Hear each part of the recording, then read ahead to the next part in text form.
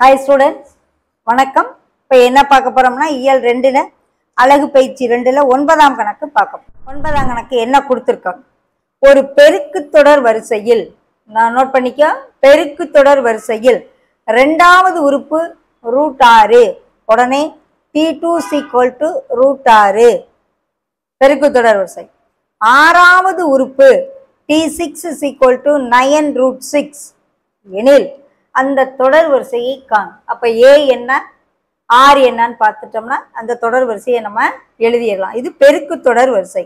இந்த தொடர் வரிசை என்ன வரிசை?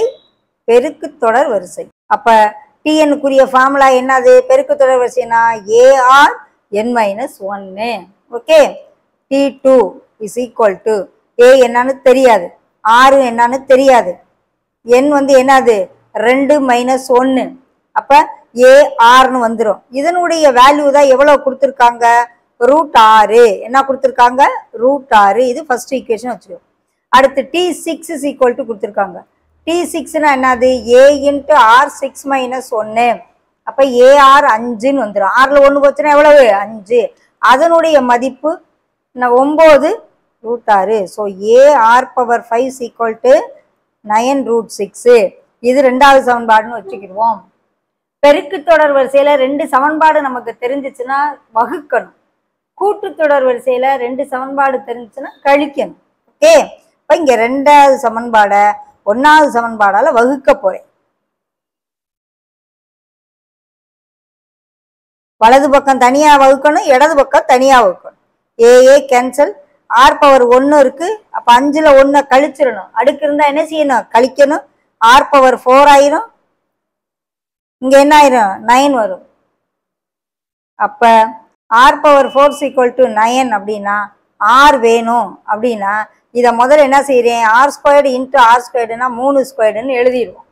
ஸோ ஸ்கொயர்டு ஸ்கொயர்டு பவர் ரெண்டு ஈக்குவல்னா பேஸ் ரெண்டு ஈக்குவல்னு வந்துடும் R squared equal to மூணுனா R is equal to square root of three அதாவது ப்ளஸ் ஆர் மைனஸ் த்ரீன்னு போட்டு ஸ்கொயர் ரூட் எடுக்கல என்ன செய்யணும்? ப்ளஸ் ஆர் மைனஸ் போடணும். ஆர் கிடச்சிருச்சு. இப்போ ஏ கண்டுபிடிக்கலாம். AR is equal to root six இருக்கு இல்லையா? அதில் ஆறுக்கு பதிலாக ரூட் மூணு முதல்ல பிரதியிடுவோம். அப்போ A's equal to root six by root மூணு. நான் ரெண்டுமே ரூட்டுக்குள்ளே இருக்கனால அடித்தா ரூட் ரெண்டுன்னு வந்து ரெண்டுமே ரூட்டுக்குள்ளே இருக்கனால அடிச்சிருக்கேன்.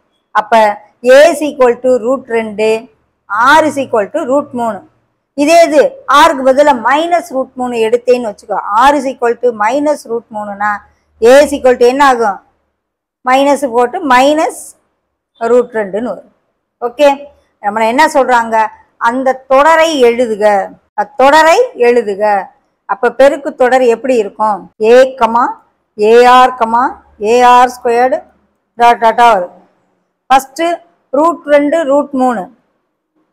ரூட் ரெண்டு ரூட் மூணு. ரூட் ரெண்டு இன்ட்டு ரூட் மூணு. ஓகே இப்படி போயிட்டே இப்போ என்ன ஆகும்? ரூட் ரெண்டு.